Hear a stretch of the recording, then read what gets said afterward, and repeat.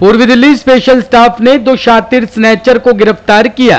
पूर्वी दिल्ली की डीसीपी प्रियंका कश्यप ने बताया कि मोबाइल फ़ोन स्नैचिंग जैसी घटनाओं को अंकुश लगाने के लिए एक टीम गठित की गई है।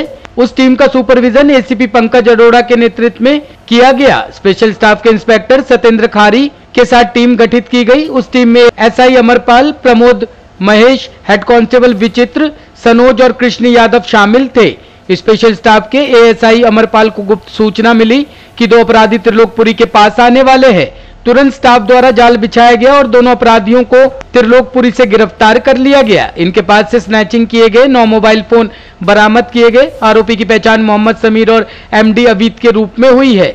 पूछताछ में पता चला कि दोनों आरोपी स्कूल से ड्रॉप आउट है और दोनों बेरोजगार है। इसी के चलते वो स्नैचिंग जैसी वारदातों को अंजाम दिया करते थे। आरोपी समीर के खिलाफ लक्ष्मीनगर और शकरपुर थाने में पहले से स्नैचिंग व डकैती के मामले दर्ज है। वहीं अवित के खिलाफ कोई आपराधिक मामला नहीं है। टॉप स्टोरी ब्यूरो के लिए दिल्ली से रवि डालमिया की रिपोर्ट।